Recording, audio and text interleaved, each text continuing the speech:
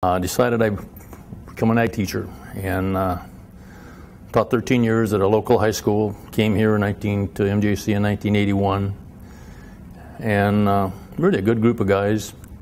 Uh, I taught the mechanics. I taught uh, residential wiring. I taught uh, electricity, and then later we got involved in some of these student programs where the kids came from Central America and they didn't speak English.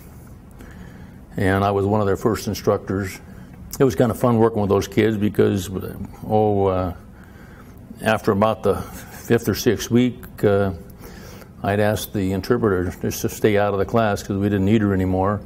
And uh, it's amazing that you get these kids that get off the plane and don't speak a word of English, and yet within six or seven weeks they're just about fluent. 23 years, good people, great workplace, uh, friends that I'll have forever.